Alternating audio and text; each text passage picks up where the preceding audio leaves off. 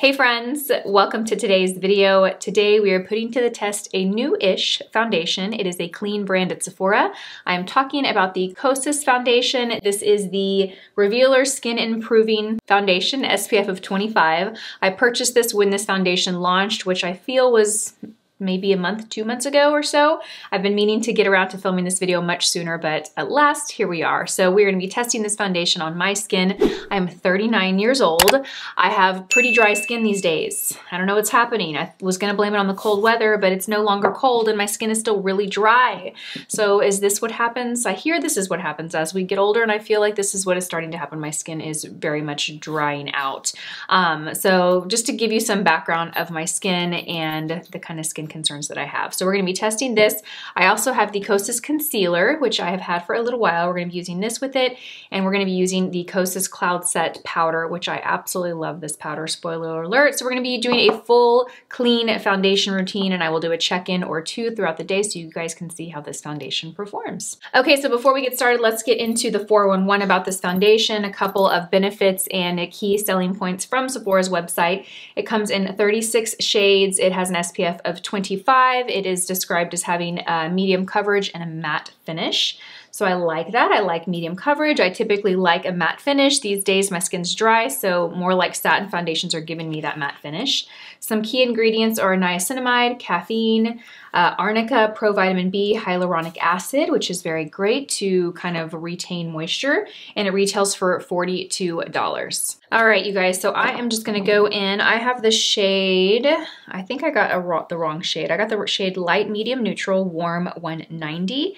It is light medium with yellow undertones. It does look a little light on me, but we shall see. This is what one pump of the foundation looks like. This is the consistency of it. You can see that it's, you know, not super thick, but it's not watery either. It is starting to slowly make its way down my hand. It looks very beautiful. I'm gonna apply it with the BK Beauty 101 brush. This is our travel size, so it looks a little bit shorter than our traditional. And I'm just gonna pick up a little bit. I like to use the tip of this brush to pick up the product. And I'm going to go in the center of my face and just kind of start by bouncing it onto the skin. I like to do this because this is the way that I get the most coverage from my product without having to use too much of it. Ooh, great coverage.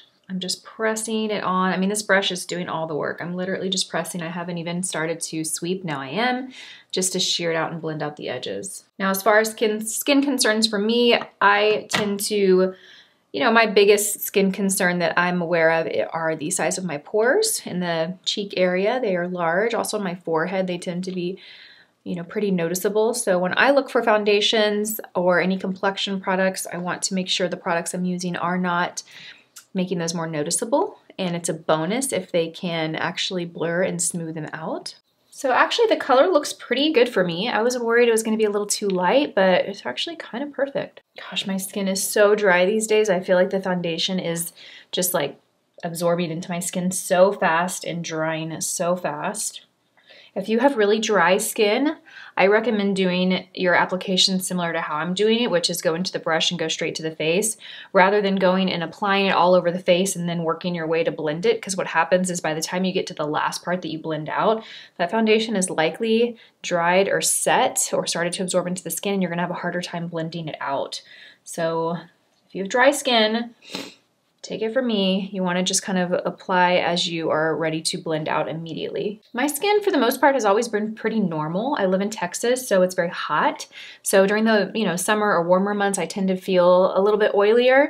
Um, but I don't know. I really feel like my skin is changing. Like I said, I'm going to be 40.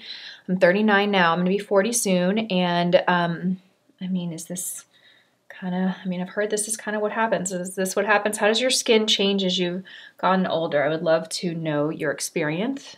If you can share that down below. All right, so I've got the foundation blended in pretty well. Um, wow, okay, it did quite settle around my nose. Like already this looks really bad. I need to go in and try and kind of wipe this off with my finger. Huh. Yeah, that is not good. That's like immediate. Okay, it's settling in every single pore. I don't know if you guys can see that. You can zoom in and see, but it is not looking good. Let me go in with the concealer. I'm gonna go in with the Kosas uh, concealer. I have the shade 04. This does look quite a bit light. I did prep my under eyes by applying a little bit of the Charlotte Tilbury uh, Cryo Eye Serum Cream. I like to do that to give a little hydration under my eyes before I apply concealer. I'm gonna go and pop that right in the inner corners. I am gonna take a BK Beauty Beauty Sponge to blend this out. And I'm gonna work quickly so it doesn't have time to dry. What I'll do is I'll go do about half of it on one eye and I'll start the other half on the other eye and then I'll go back. Ooh, my eyes are so sensitive to these lights today. Okay, I do like this concealer today. The concealer is giving me good coverage. It looks creamy and hydrating under the eye. Okay, all right, perfect. Let me go and see how I'm gonna clean up around the nose. Around the nose looks really, really terrible. I almost wanna grab my phone and get a very close up of this so you can see what it looks like. Okay, so before I go in and set with powder, I do wanna make a couple of notes that this side of my face actually looks really pretty. This side is where I'm having a lot of patchiness. I'm also having a lot of the product settle into pores. I feel like I'm a little bit drier in this area, so that is probably why that is happening, but I wanted to make that um, notation because Right now I'm not liking this foundation like right off the bat before we even go throughout the day and wear it. I'm not liking the way this looks on my skin. But I do want to say that you know, I think that it is because my skin is so dry, right now, because there are parts of it that look better than others, but it's not a good foundation day and we just got started.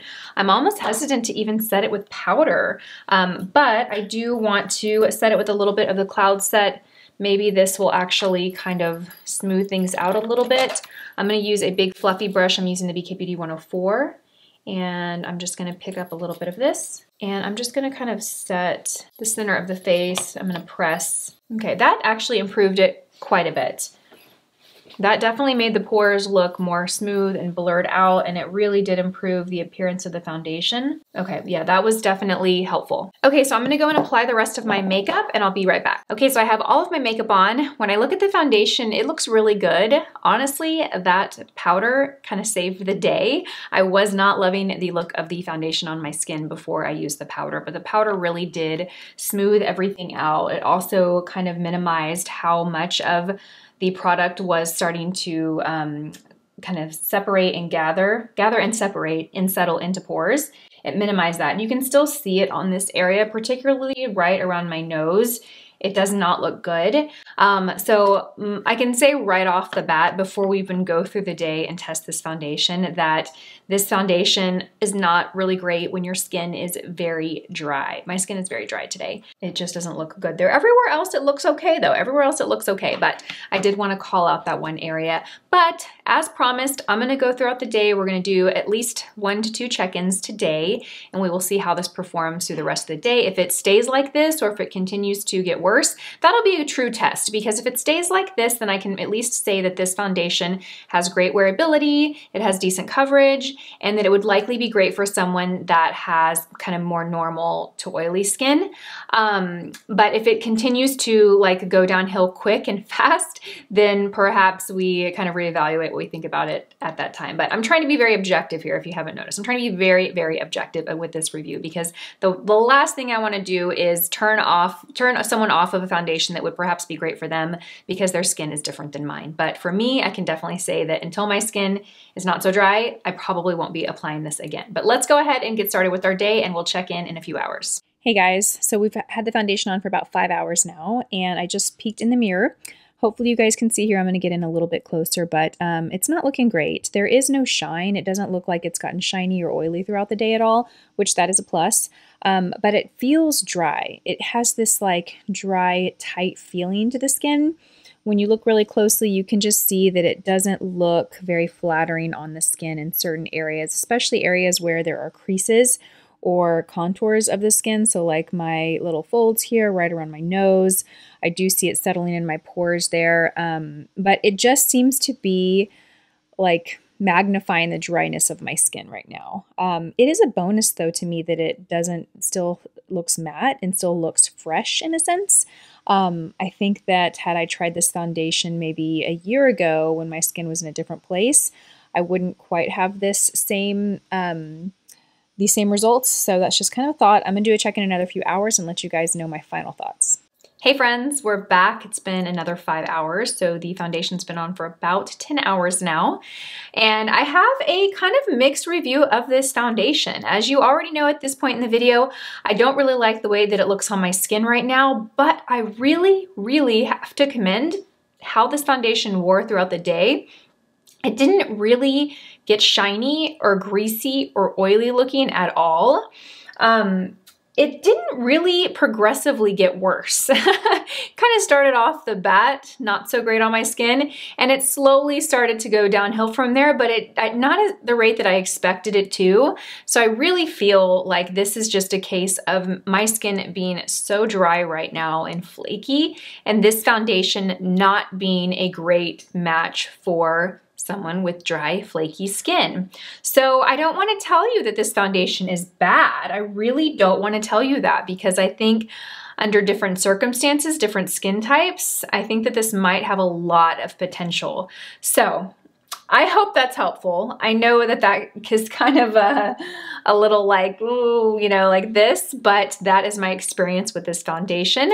If you've tried this, please let us know your thoughts on this foundation. If you love it, let us know what you love about it and what type of skin you have.